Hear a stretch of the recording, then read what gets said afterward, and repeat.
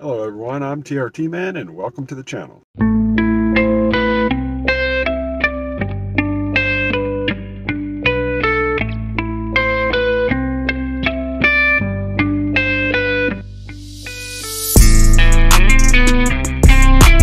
Alright, so I'm going to start with giving everyone a backstory on my channel in general and where I'm at now. Um, I know, you know, some of you may be following me already and already know, but just for everyone who doesn't, I started uh, testosterone replacement therapy back in 2018. Um, I decided to come off of it uh, at the beginning of this year, around January 2nd or something like that. Doesn't really matter. But anyways, I've been off of it now for uh, seven and a half months. It wasn't easy when I first came off, uh, but I got through it and I felt like I was starting to stabilize uh, with my hormone levels. Um, tried going to the clinic to get tested uh, for my, my, levels, and they just gave me all this. It's Navy medicine. Just leave it at that. And they would not let me get my testosterone checked.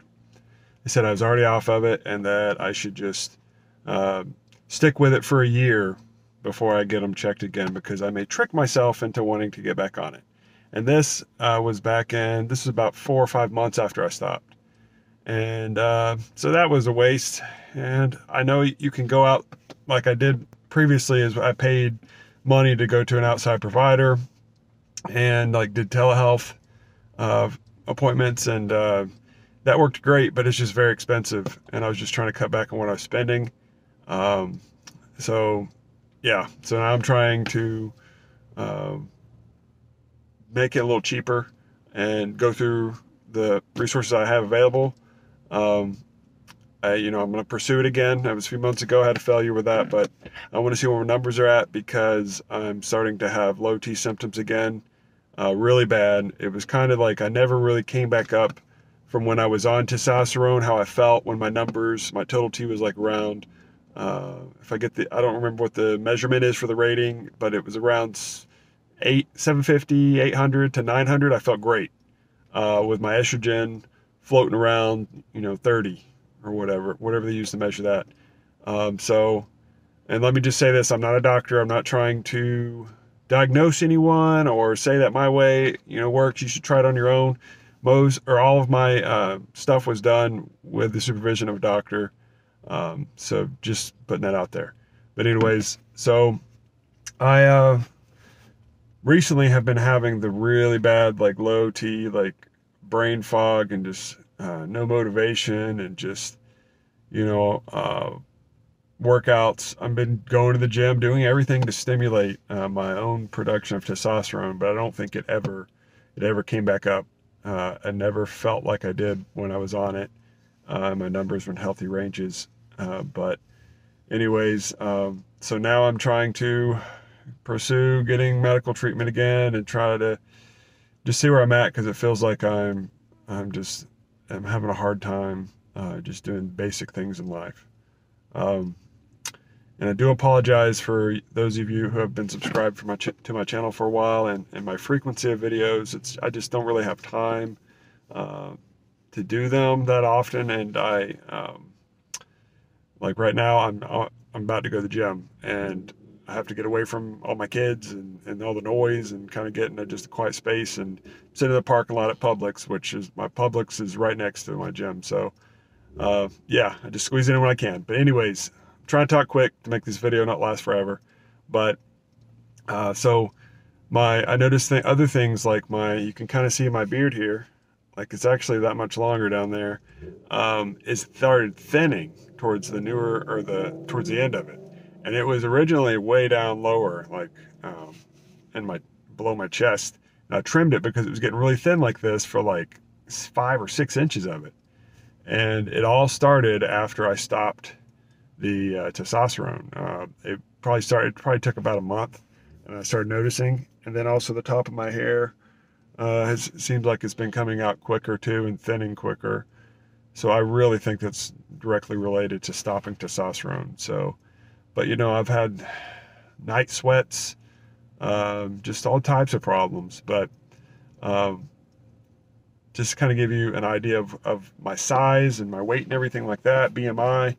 So I'm around I'm in the low 20% um, percentage body fat, roughly. It's not ac- like super accurate. You know, I didn't spend big money to go get that tested, but um, based off of you know basic tools you can use to, to measure those things. And so uh, I'm not super high, but I would like to get lower, like to around 15, and kind of maintain from that point, 15% body fat. Um, I'm six foot four, about 258 pounds is what I weighed this morning on the scale. Um, I started off at about 265 on TRT, and I got up to 300 or just shy of 350 pounds. Uh, was very strong. I had a lot of muscle mass, but I also had um, a lot of water retention, swelling, uh, bloating, you know, all that stuff. Uh, fat was building because I was eating so much too. Um, so then I got up to that, and I've been slowly losing weight since I got off of gluten uh, back in the fall of 2020 when I found out I had celiac disease. Uh, so that made a big change, made my appetite go away completely, and I kind of just been naturally doing the one meal a day type of diet um, for a very long period of time. Sometimes I eat lunch, but most of the times I don't. I don't eat until six, seven o'clock at night, and then that's pretty much all I eat. I might have a couple snacks here and there, but uh, nothing crazy. And so I rapidly dropped down uh, to where I'm at now, and I, for overall, I was feeling better, and uh, just felt like I was moving the right direction. But more so recently, in the past couple weeks, I've noticed a big dip in my motivation and energy, and, and I'm like, man, this doesn't make sense. I've been working out four or five days a week and staying active, eating. When I do eat, I eat pretty clean. Um, you know, I've just, I don't know, I've been getting my, you know, I could get more sleep, but I don't go under six hours in a night. I normally have about seven or eight.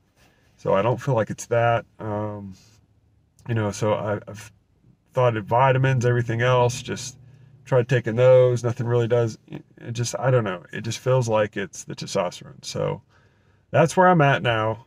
Uh, so here in the coming future, I or near future, I will have some more updates and I'll get lab results, kind of see where I'm at, see if my um, my thoughts of having low T are, are correct. My you know, so uh, we'll see.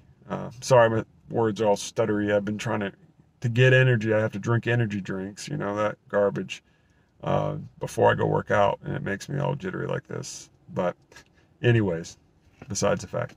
Um, so thank you guys for watching the channel. And if you want to see my updates or kind of look at some of my other videos, that's cool too. But subscribe so you can see my new uh, videos come out.